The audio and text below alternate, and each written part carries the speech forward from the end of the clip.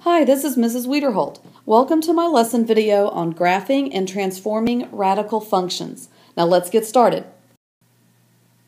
Let's start out with graphing the parent radical function, which is y equals the square root of x. Now how I'm going to do this is I'm going to create a table, come up with an x value, and then find out what the y value will be, and those will be my ordered pairs that I graph. So, if x is 0, then that means the square root of 0 is 0. So there's my first ordered pair that I'll plot, 0, 0. Next, if I wanted to use 1, well, what's the square root of 1? 1. So there's my next ordered pair. x is 1, y is 1. And I'm going to graph that. Now, I want to pick my next perfect square. I could say, let's say x is 2. But 2 is not a perfect square. So if I take the square root of 2, I'll, I will not get a whole number, and it just makes it harder to graph. So I'm going to go up to 4. Now, the square root of 4 is 2. So that means my y would be 2.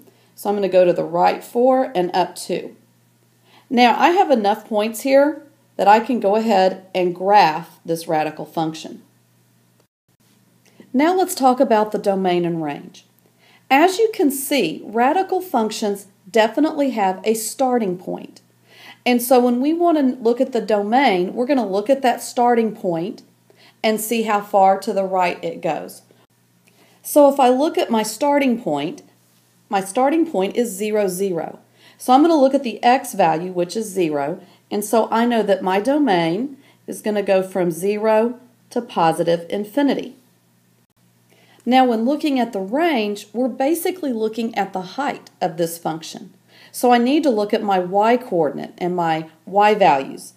So the y-coordinate of my starting point is 0, and this also goes from 0 to infinity. Now let's graph another one. Let's graph y equals 2 square root of x. So again, the first thing I'm going to do is I'm going to start by making a table.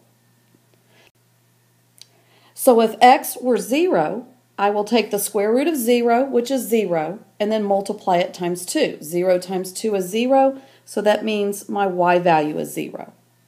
Now let's do another one. Let's say that x equals 1. Well, the square root of 1 is 1, and 1 times 2 is 2. So that means my y value would be 2. Now let's do one more. I'm going to say that x is 4. So I'm going to take the square root of 4, which is 2, but then multiply it times 2, and that would be 4. My y value would be 4. So now let's plot these points. I've got 0, 0. I have 1, 2. And I have 4, 4. So I have enough points that I can plot this graph. Now, what do you notice about the purple graph compared to the orange graph? Well, the purple graph is called vertical stretch. It's taller, and we call that a vertical stretch. And what caused that vertical stretch is this value right here, the number that's in front of the square root. Now, does this number, 2, in front of the square root of x, does it change my domain and range?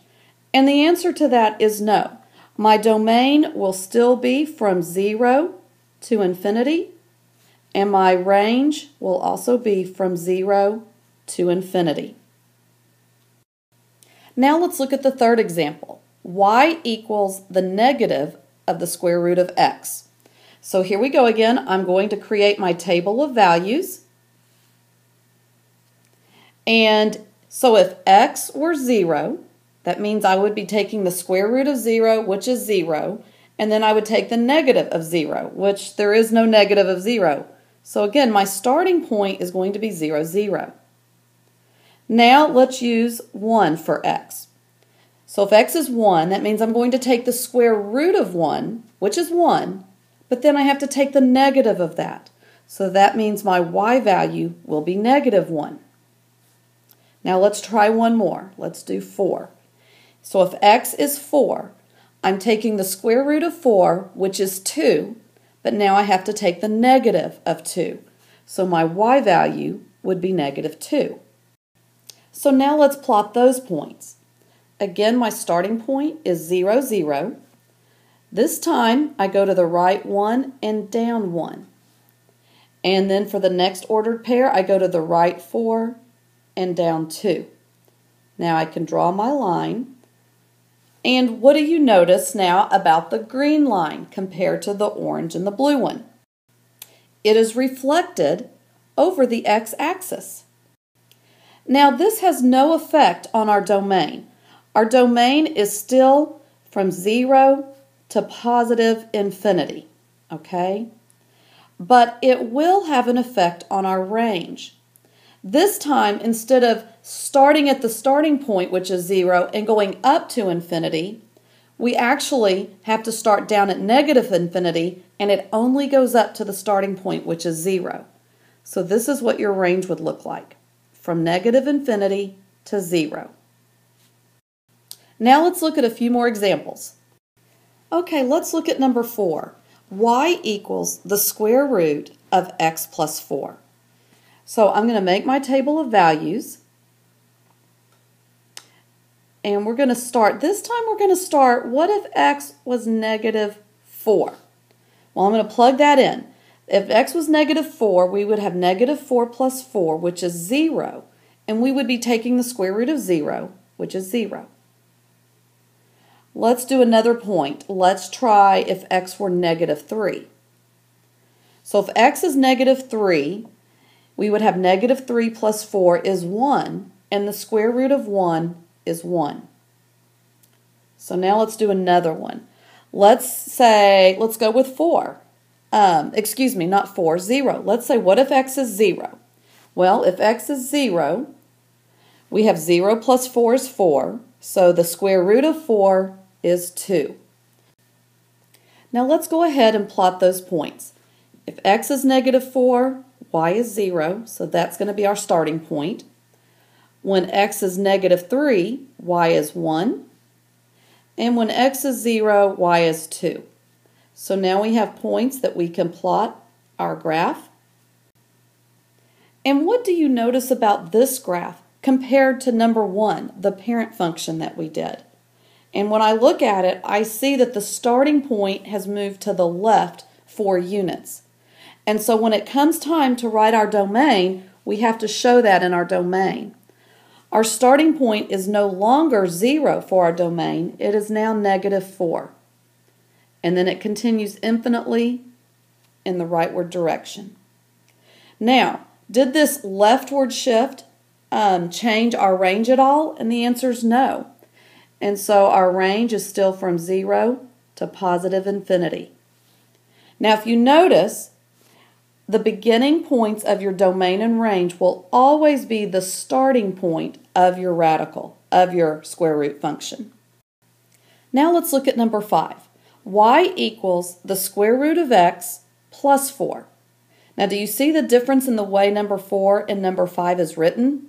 In number 4, x plus 4 is all under the radical. But if you look at number 5, x is under the radical by itself, and you're adding 4 to that separately. So let's do our table of values. And I'm going to start out, I'm going to say, this time I'm going to go back to 0. If x is 0, then I would say the square root of 0 is 0, and then I have 0 plus 4 is 4. So when x is 0, y is 4. Okay, let's do 1.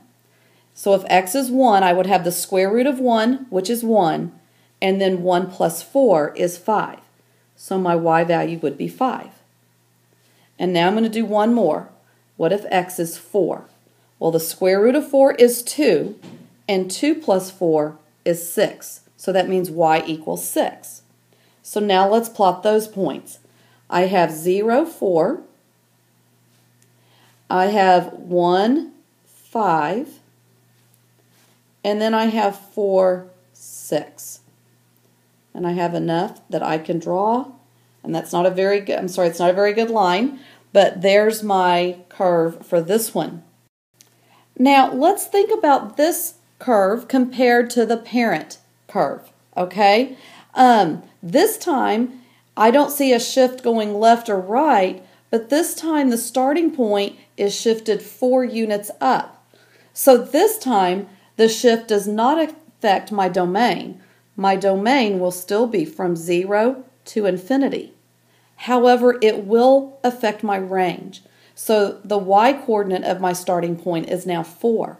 So my range would be from 4 to infinity. Now let's do our last example on this page. I'm going to put my table of values down here. So we're going to start out, and this time I don't want to start out with a number that would cause a negative number inside the radical, so I'm going to start out by saying x is 3. So if x is 3, then under the radical I have 3 minus 3, which is 0. The square root of 0 is 0, and then 0 minus 5 is negative 5. So when x is 3, y is negative 5. Now let's try when x is 4. So when x is 4, under the radical, I have 4 minus 3 is 1. The square root of 1 is 1. And then I have 1 minus 5, which would be negative 4. Now I'm going to use one more value, and I'm going to say, what if x is 7? Well, if x is 7, that means 7 minus 3 is 4. So I take the square root of 4, which is 2, and 2 minus 5 is negative 3. So now I have enough points to plot. So I'm going to start out with 3, negative 5. And then my next one would be 4, negative 4. And then 7, negative 3. And now I'm going to try to draw that curve. And what do you notice here? Now, look what's happened to our starting point. Remember, the parent function starts at 0, 0. This one, the starting point is down here where x is positive 3 and y is negative 5. So if we look back, we see x is 3, y is negative 5, so you can look at these numbers right here and know where your starting point is going to be. So how does this affect our domain? Well, our domain now has a beginning point of 3. So we're going to say that it's from 3 to infinity. And sorry, that's a very bad bracket. Now, what about our range? Well, our range, the starting point, the y value of our starting point is negative 5. So our range will be from negative 5 to infinity. So now let's try to summarize for just a moment. If we look at the a value in our equation, in our radical equation, the a value has two purposes. It tells us if there's a vertical stretch or shrink, and let's see if I can write that. It's kind of hard to write on this board. Vertical stretch or vertical shrink.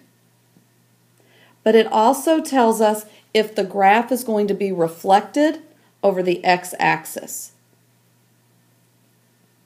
Okay? So it tells us those, uh, I guess you could say three things.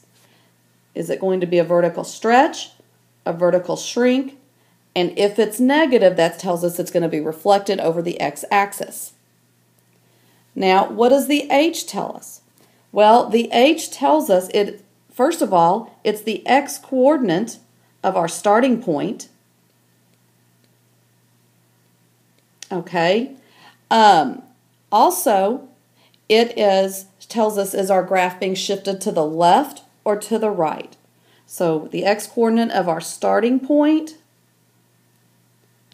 and shifts left and right. That's what it tells us. Okay, now, so what, um, what does the k value tell us? Well, again, the k value tells us the y coordinate of our starting point. And then it also tells us about how it's going to shift. Does the graph shift up or down from the parent function. Okay? And so if we look at these questions to the right, which of the above variables controls the starting point of the domain? Hmm, Y'all tell me, what would that be? It would be the h value. And then what would be, which of the variables would be a starting point for the range? That would be the k value. Now remember, the h value is the one that I call the tricky one. If in your equation you see x minus the h value, that tells you h is positive. If you see x plus the h value, that means the h value is negative. Now the k value isn't tricky at all. If you see plus k, that means it's shifting up. And if you see minus k, it has shifted down. Now, I hope this video has helped you understand a little bit more about graphing and transforming radical functions, and I look forward to working with you again. Bye-bye.